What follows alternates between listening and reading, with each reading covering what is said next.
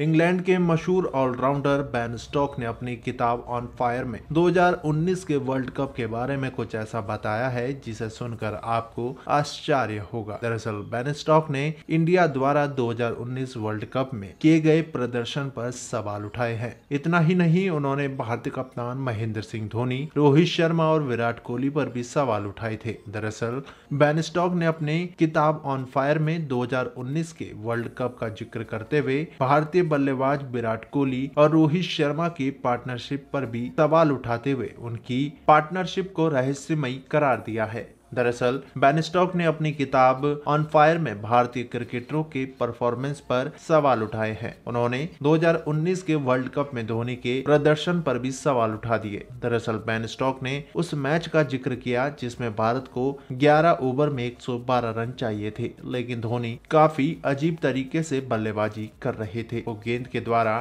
फेंके गए गेंद को बाउंड्री के बाहर भेजने की वजह एक रन लेने में ज़्यादा इच्छुक लगे। दरअसल, बैनस्टॉक ने बताया बताया कि भारत मैच 12 गेंदों में भी जीत सकता था। लेकिन ऐसा नहीं हुआ, क्योंकि कोई भी प्लेयर खेल में दिलचस्पी नहीं दिखा रहे थे।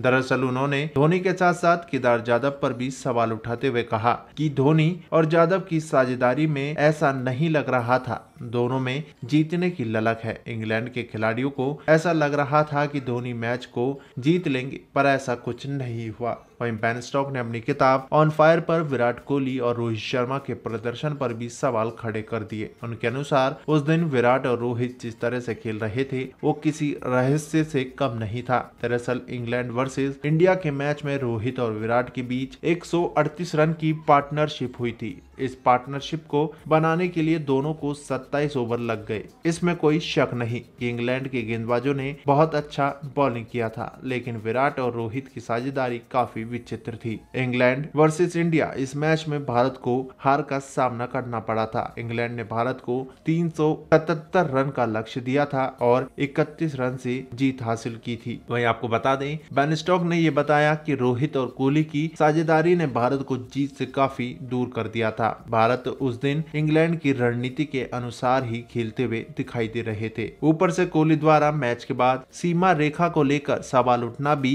थोड़ा अजीब था। बैनस्टॉक ने कोहली की इस शिकायत के बारे में भी अपनी किताब में ज़िक्र किया है। उनके अनुसार ऐसी शिकायत अब तक किसी ने भी नहीं की थी। क्या दोस्तों, आपको क्या लगता है, हमारे कमेंट बॉक्स में ज़रूर बताएँ।